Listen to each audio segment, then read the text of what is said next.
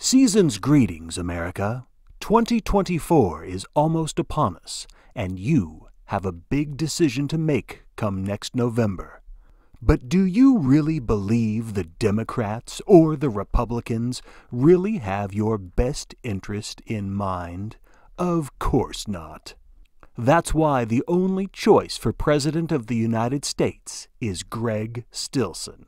It's the job he was destined to do. Now you might be thinking, wait a second, isn't Greg Stillson the guy who was almost assassinated in 1979 by a crazed psychic gunman named John Smith? And wasn't Greg Stillson the guy who used a small child as a human shield? Well, that's the story the fake news media would like you to believe. But here is the real story of Gregory Stillson. He was born in Tulsa, Oklahoma, in a time when the nation was still struggling through the Great Depression.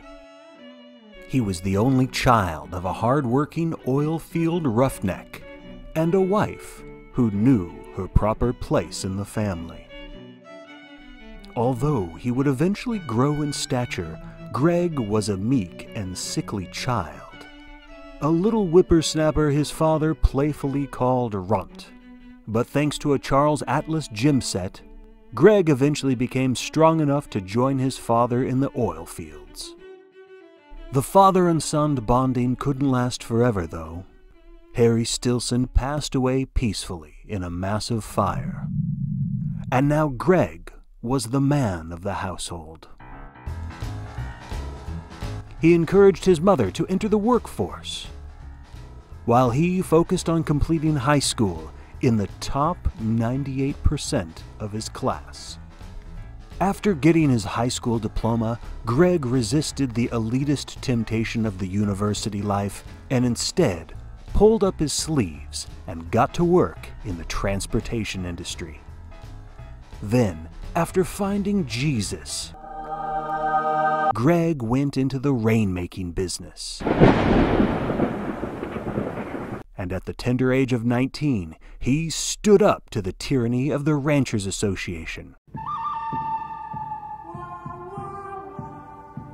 They sent thugs after him, armed with brass knuckles.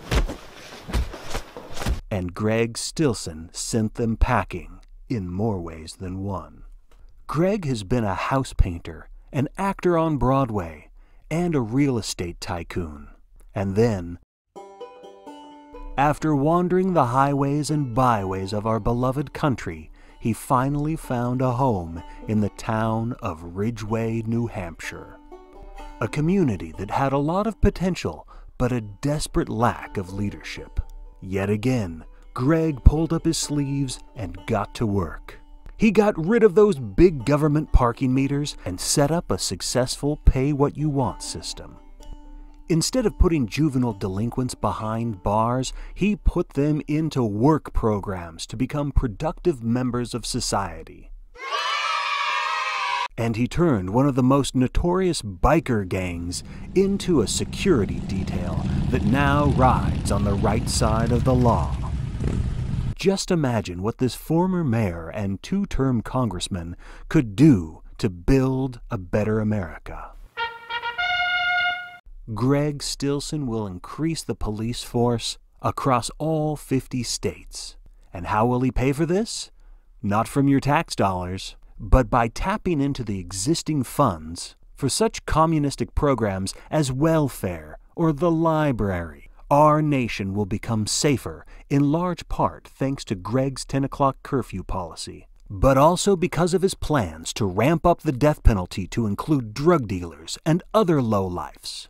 After all, why should murderers be the only ones to walk the green mile? And for those of you whining about the environment, Greg Stillson has a plan to eliminate 100% of the Earth's pollution. Yes, every scrap of junk and toxic waste will be launched into space. That's right, Moon. It's your problem now. Now, you might be thinking, What about the human shield incident? Well, here's what the media doesn't want you to know. That would be assassin was a man named John Smith. He miraculously awoke from a coma with a new God given power. He could touch a person and see their past, present, and future. Skeptics said he was a hoax.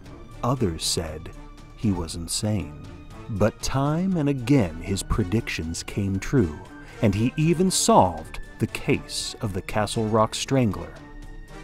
At a campaign rally, he once touched Greg Stillson and saw his truth that Greg would become the President of the United States. And that's when Greg knew that John Smith was the real deal. Think about this if you could go back in time and kill Hitler, would you do it? If you're a loyal American, then of course the answer is yes. So, what if John Smith set out to kill the next Hitler? Not this man, but this baby. That's why in this photo he's doing everything he can to help John Smith have a clear shot. Greg Stillson is a man who's not afraid to make the tough call and the right call every single time. And that's what happened back in 1979. Unfortunately, the deep state put an end to John Smith. And Greg Stillson's career fell to ashes. But like the phoenix, this great American has risen once again and is ready to serve his country and save it. And that baby? Some say he grew up to be Jeffrey Dahmer, or maybe Jared Fogle. Whatever the case, we should have listened to Greg, and now this November, we still can. Greg Stillson for president. Let's build a better America. My name is Greg Stillson. I am running for President of the United States, and I approve this message. And thank you for watching and listening to the Stephen King Book Club.